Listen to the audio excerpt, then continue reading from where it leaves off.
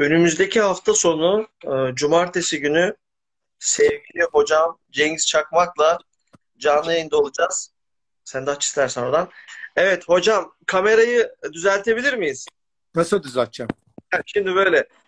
Tamam. E, bu arada e, sizi görüyor takipçilerimiz de.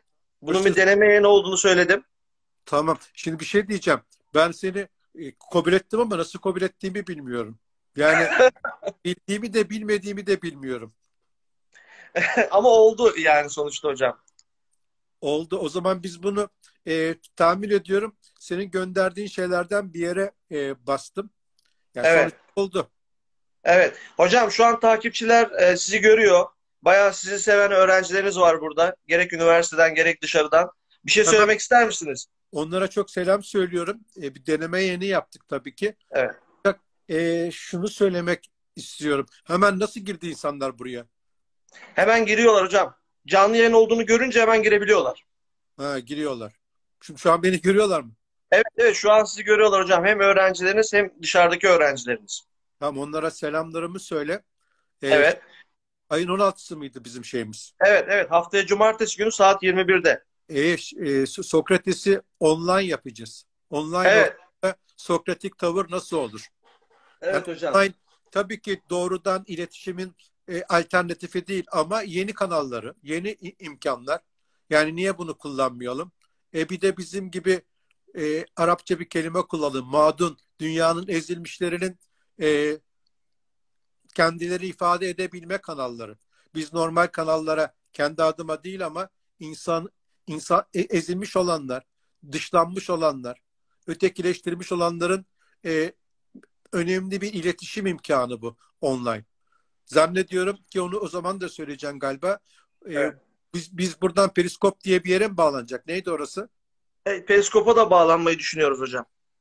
Bu periskop e, ezilenlerin alternatif iletişim yöntemleri değil mi? Evet, evet. Hem de göçmenler tarafından kurulmuştu. Siz de Evet. göçmenler benim için çok önemli demiştiniz. E tabii bir sürü tweet attık göçmenlerle ilgili hala da önemli.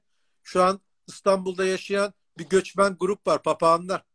İnsanlar onları normal koşullarda görmediler. Hayatın hızından dolayı, koşuşturmadan dolayı. Şimdi biraz hayat sakinleşince zannediyorum görmüşlerdir. Onların ilk olduğu yer şeydi, e, neydi orası, ne parkıydı? Gülhane Parkı'ydı. Sonra bizim okulda yerleştiler. Sonra da oradan İstanbul'a yayıldılar. Bunlarla ilgili bilgisi olan varsa bana söyleyebilir. Daha doğrusu senin üzerinden. E, çünkü bunlar bir gemiden e, gemi miden kaçak olarak getiriyorlarmış. Oradan kaçmış ve koloni kurmuşlar. Hı hı. Çok bayağı sevimli yaratıklar. Yeşil, sarı. Hocam ama siz e, papağanın insan versiyonunu sevmezsiniz. Yok insan versiyonunu sevmem. Onu e, lok üzerinden eleştirebiliriz. Evet. Yani papağanın insan versiyonu şu anki bilimci zihniyet. Bilim değil, bilimci zihniyet. Bakın ipuç, ipuçlarını verdik. Ee, bizim başlığın adındaki o şey var ya felsefe ve sinekleri iki nokta üst üste Evet. merdiven, eleştiri, V'yi kaldıralım oradan hayat. V, kalk, v orada fazlalık olmuş. Zaten felsefe ve iki kere V olunca bozuyor benim şeyimi. Tamam mı? Tamam hocam. Çok güzel bir deneme oldu hocam. Hem e, biz sizi de görmüş oldu öğrenciler. Ben de görmüş oldum. Sizi çok özledim çünkü. Ben de özledim işte. Sonuçta bu online'ın hem olumlu hem olumsuz yönleri var. Tekrar ediyorum. Online bizim doğrudan dokunmamıza alternatif değil. Onu yok edecek anlamına gelmez. Yeni bir kanal. Evet hocam. Kullanmayalım? E, Kesinlikle hocam. iktidarlar e, her türlü e, medya iletişim araçlarını ellerine geçirmişlerdir. Burayı geçiremiyorlar. Evet. Bu arada arkadaşlara şunu söyleyebilirim. Bilgi Evet. bağlamında Zeus'un evliliklerine baksınlar. Bak hazırlık yapıyoruz. Sen, sen çok güzel görünüyorsun. E, e, tebrik ediyorum. Tekrar evliliğini biliyorsun. Teşekkür ederim hocam. E, bir, bir şey oldu hatta. Eşim de dinliyor hocam sizi. Ona da çok selam söyle. E, bir şekilde telafi edeceğiz. Şu günler geçsin. Geleceğim. Tamam. Bir de insanlar şeye gıcık oluyorlarmış. Arkada kitapların görünmesini. Ha, Bunu- evet. Yani aptal adamlar kardeşim. bizim yaşama mekanımız e, üç tane yerimiz var bizim. E, masamız, e, sokaklar ve e, kırlar, dağlar.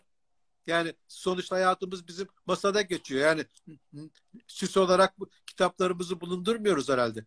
Hani insanlar çünkü kitapları herhalde şey olarak zannediyor. Yani okul zamanı okulur, sınavdan geçeriz sonra kitaplarla işimiz biter. Yani Evet. kitap senin hayatın. Ben seni biliyorum. E, e, Evet. adını neredeyse çocukluğunu biliyorum diyelim ki metafor. Evet. E sonuçta kitap insanın hayatının bizim gibi adamların parçası. Onun için bana asistanlıkta şey derim. Eskiden e, asistan alınacağı zaman sahaflara sorarlarmış. Bizim okulun Hmm. yan- Sahaflar e, adam olacak çocuğu seçtiği kitaplardan anlarmış.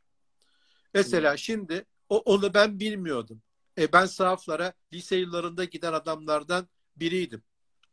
Şimdi sahaflardan yaşlı olanlardan bir tanesi bana 15 sene önce şunu sordu. Ya Cengiz dedi şurada sizde dedi bir adam vardı dedi. O dedi ne oldu? Hiçbir şey olmadı dedim. Çünkü dedi o herif dedi senin hocanla beraber gelirdi. Senin hocan dedi kitapları alırken o dedi kitaplara bakar hiçbir kitap almazdı derdi. Yani kitap almayan hoca olur mu? Tamam şimdi sahaflar yok ama yine e, kütüphanelere gitmeyen e, bizim şeyde Cağaloğlu'nu bilmeyen, oradaki kitapçıları bilmeyen e, insandan akademisyen olur mu? Olmaz. Akademisyen olmak da önemli değil. Aydın olur mu? Hiç olmaz. O da önemli değil yavrucuğum. Entelektüel olur mu? Evet. Hatlarımızı yaptık. Evet. Bir de e, bu konuda yani bununla kapatabiliriz hocam denemeyi. Entelektüel ve aydın ayrımından bahsetmiştiniz en son ve o çok enteresan geldi bana. Yani Bunu bunu bunu konuşalım ve sizden dinlemek istiyorum. İnşallah. Tamam yapalım. Çünkü ben de telefon sistemini deneme yaptığım için elimle tutuyorum. Daha sonra Evet. güzel bir şekilde konuşacağız. Hadi çok Tamam. selam. Selamlar. Herkese selam. Aleykümselam hocam. Ben bizden de size selam. Sizi çok seviyoruz. Biz de. Biz de. Görüşmek üzere. Hadi.